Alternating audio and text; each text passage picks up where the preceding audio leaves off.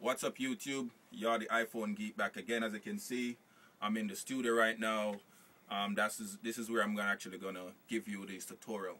This tutorial is for people been waiting for the 3.1.2 jailbreak, which the dev team have finally just created and pushed it out.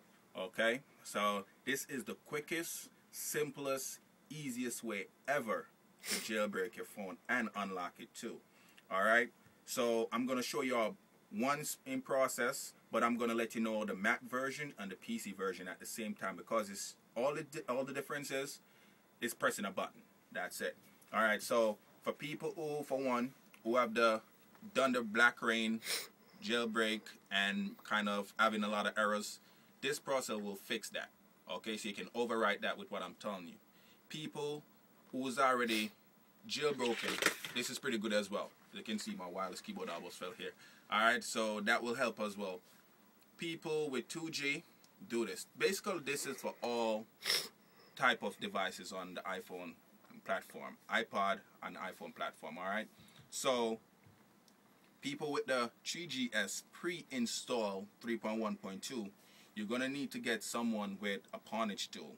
That's as far as I know. I don't got a pre-install 3.1.2, so I don't know how that works.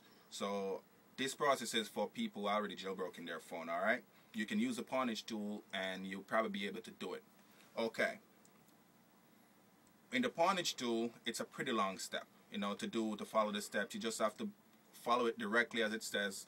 Read the pop-ups carefully and you'll be fine. Alright? So without further ado, I know y'all waiting patiently and waiting, waiting. So I'm just going to show y'all now the simplest ways of how to jailbreak it. First, I'm going to start on a Mac, but it doesn't matter if you're on a Mac or a PC. Alright, so I'm going to start up my Mac real quick, and then I'm going to go on the desktop. I'm going to load up the website y'all going to need to get all the tools, alright? So, let's go. Head over to this PC real quick, the Mac real quick. So, let's get to the Mac. Here we go. Mac up. So, what we're going to do, we're going to go to Safari. Remember, we're going to use Safari. I mean, I'm sorry, don't use Safari. My bad on that. You want to use Firefox.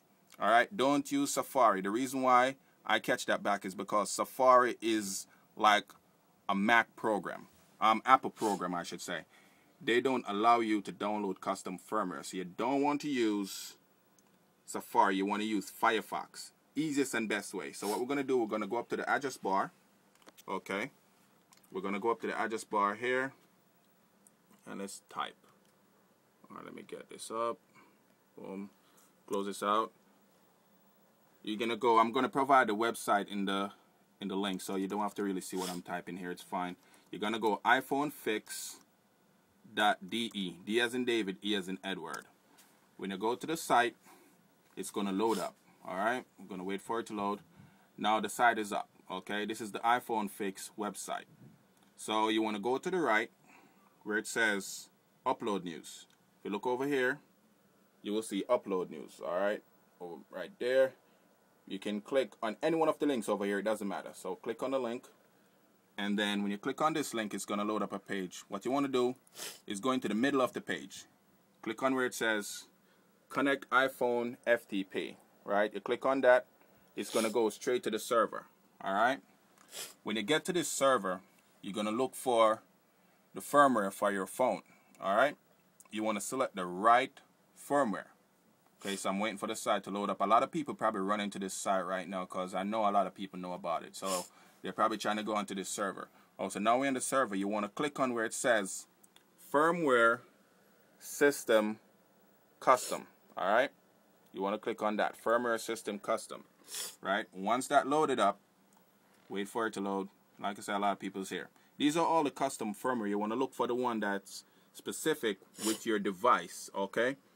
The important thing you have to be careful on here. You're going to make sure you download the right one. Non-activated mean AT&T customers.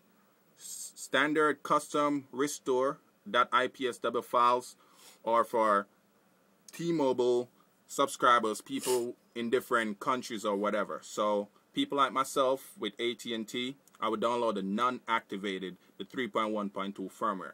Now we got that, all right? When you got your firmware, on your desktop, I would say that's the best place to put it, alright? When you get your firmware on your desktop, what you're going to do is you're going to run iTunes. Yes, when you run iTunes now, which I'm showing you down here, you run iTunes, it's going to show you the file. So when we open iTunes, iTunes open up. I'm doing this on a Mac, but don't worry about it. You can do the same thing on a PC. The only thing, like I said, different is just the button you're going to click. That's it. All right. So iTunes open up. If we had an iPhone connected, you would see it comes up and started showing you the files here. So you know what? Let me, let me connect this iPhone real quick and show y'all what we're talking about. All right. So let, hold on. Let me hold this real quick. Get to the plug right here. Ah. All right. So now we plug it into iTunes. I'm trying to make this video as quickly as possible as I can because as we know YouTube only take 10 minutes. All right. So now you will scroll over once your once the program comes you're to click on your device.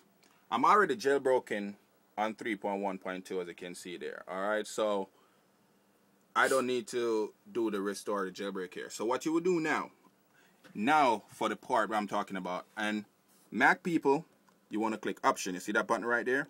You click on hold on option, okay, and then you will click restore. When you click on restore, it will go to browse and you just search for wherever you save your custom firmware. And that's it. You just click on it, it will start to back up your file and everything is good.